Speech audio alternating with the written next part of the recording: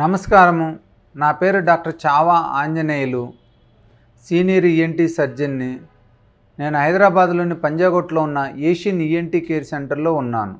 నోట్లో పుళ్ళు పడుతుంటాయి కొంతమందికి రెగ్యులర్గా నోటి పూత పూసింది అంటారు రెగ్యులర్గా ఇంటర్మీడియట్ ఎవ్రీ టూ మంత్స్కి నోట్లో పుళ్ళు వస్తున్నాయి అల్సర్స్ ఫామ్ అవుతున్నాయి అంటున్నారనమాట దాని మీద డిస్కస్ చేయబోతున్నాను.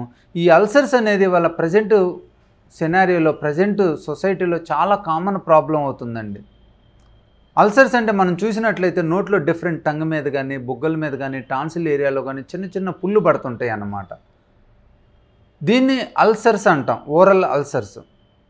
ఇవి రకరకాల కారణాల నుంచి వస్తుంటాయి. ఆఫ్తస్ అల్సర్స్ అంటాం వైరల్ హెర్పెస్ వై ఫెరింజైటిస్ అల్సర్స్ అంటాము విటమిన్ డిఫిషియన్సీ అల్సర్స్ అంటాము అలానే అదర్ ప్రాబ్లమ్స్ ఉంటాయి రేర్గా ఆటో ఇమ్యూన్ డిజార్డర్స్ అంటాం పెంపిగస్ పెంపుగా డిజార్డర్స్ అంటాం అనమాట వీటన్నిటి నుంచి కూడా నోట్లో అల్సర్స్ రావచ్చు.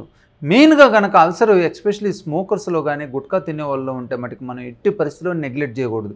ఎందుకంటే ఈ గుట్కా తినే వాళ్ళలోనూ ఈ టొబాకో తినే వాళ్ళలో ఈ అల్సర్స్కి క్యాన్సర్ ఉండే అవకాశం ఎక్కువ ఉంటుంది అన్నమాట సో అల్సర్స్ని ఎట్టి పరిస్థితుల్లోనూ నెగ్లెక్ట్ చేయొద్దు.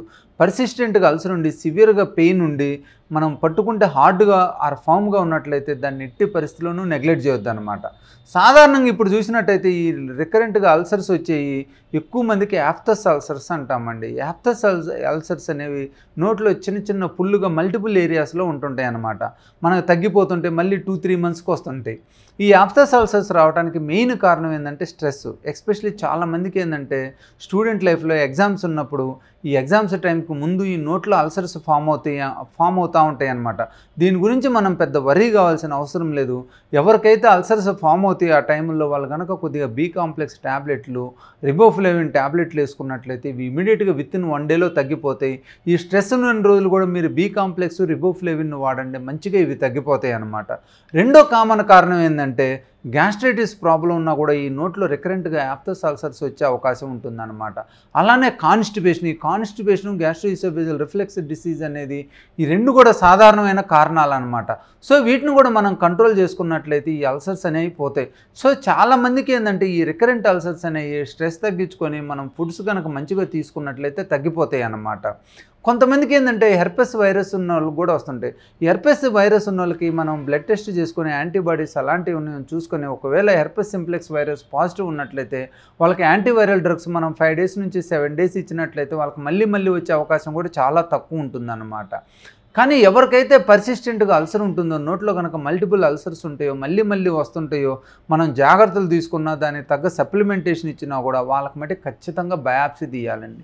బయాప్సీలు ఏంటంటే మనకి రేర్గా ఉండే ఆటో ఇమ్యూన్ డిజార్డర్స్ తెలుస్తుంటాయి అనమాట ఈ ఆటో ఇమ్యూన్ డిజార్డర్స్ కనుక మనం ప్రాపర్గా ట్రీట్మెంట్ ఇవ్వకపోతే అవి తగ్గవు కంటిన్యూస్గా ప్రాబ్లమ్స్ ఉన్నట్లయితే ఆ ఫైబ్రోస్ అయ్యి లోపల ఉన్న నర్వ్ ఎండింగ్స్ ఎక్స్పోజ్ అయ్యి పర్సిస్టెంట్గా మనకు అక్కడ పెయిన్ బర్నింగ్ సెన్సేషన్ ఉండే అవకాశం ఉంటుందన్నమాట. ఏమాత్రం కొంచెం వేడి పదార్థాలు తిన్నా ఇవి ఏమాత్రం మనం కొంచెం స్పైసీ ఫుడ్ తీసుకున్నా కూడా బాగా పెయిన్ వస్తుంటుంది అనమాట సో మనం ఎట్టి పరిస్థితుల్లోనూ వాటిని నెగ్లెక్ట్ చేయకూడదు. రికరెంట్గా అల్సర్స్ వస్తుంటే మనం బయాప్సీ తీసుకొని ఆ బయాప్సీలో ఏ వ్యాధి ఉందో తెలుసుకొని దానికి ట్రీట్మెంట్ ఇవ్వాలన్నమాట.